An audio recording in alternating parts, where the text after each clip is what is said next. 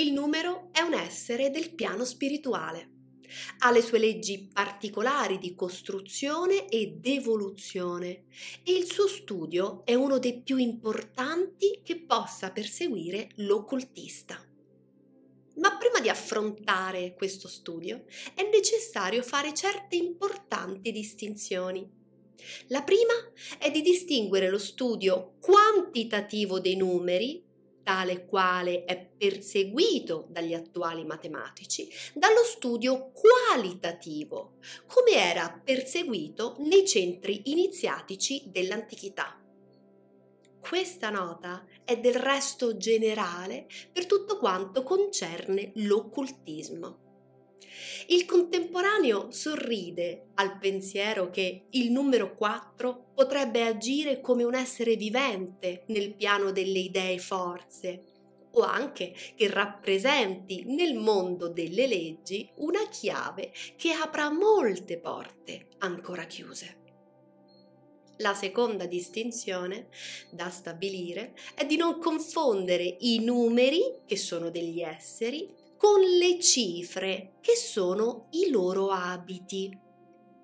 Un uomo vestito di verde, giallo o nero è sempre lo stesso.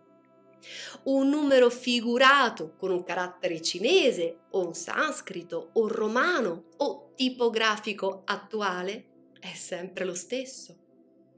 Ora, la questione cifra ha imbrogliato molto spesso la questione numero. Infine, l'ultima distinzione da stabilire è che lo studio dei numeri abbraccia molteplici adattamenti, è un vero mondo intellettuale. Numerosi autori hanno dedicato le loro veglie a questo studio. L'antico libro cabalistico Sefer Yetzirah tratta dei numeri e dei loro rapporti analogici tutte le scuole derivate dai pitagorici e dai neoplatonici seguono la stessa via. Cornelio Agrippa, nella sua filosofia occulta, consacra quasi tutto un volume ai numeri studiati qualitativamente e nelle loro corrispondenze.